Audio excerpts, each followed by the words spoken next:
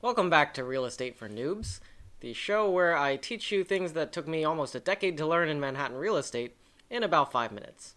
My name is Derek, partner of the Manhattan real estate development firm YD Development, and today we're going to learn how to increase your property valuation by boosting your NOI.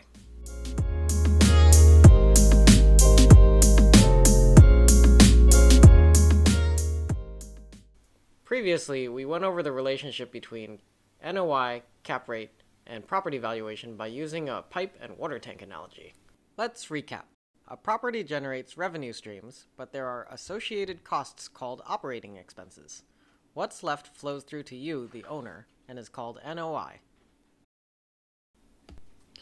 When you buy a stable property, it comes with the ability to generate predictable NOI.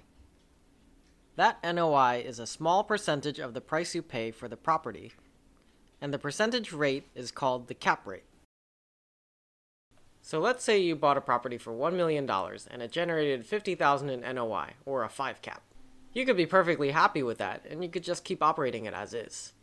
In industry lingo, this is called a core asset, one that needs minimal work and can be held and maintained as is to generate stable and predictable cash flow.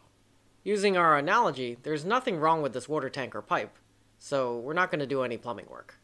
But a lot of professional real estate developers like to find deals that have room for additional value, or what the industry calls core plus for light improvements and value add for large improvements, usually construction that requires a work permit.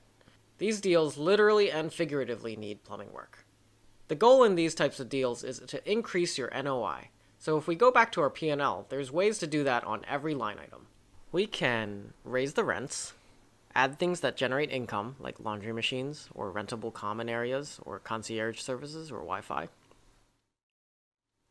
Find less expensive ways to maintain the property, but not without sacrificing the quality, because you'll always pay for cheaping out down the line. Use sustainable tech to lower the utility bills. You can switch to all electric, LED lights only, add solar panels, improve the building insulation, install a more efficient HVAC system, or install a tankless water heater. You can even grieve your taxes with the local government. In New York City, there are also tax abatement programs. For certain types of improvements, you can get a better rate on your insurance too, because some improvements lower the liability risk of your building. All of these items will increase the amount of NOI flowing through your P&L pipe. So when you've established that your property generates more money than before, you've naturally earned a higher property valuation. But here's where things get super complicated real fast. These improvements usually cost money, and you have to make sure you invest in these improvements in a way that generates more property value than the amount you invested.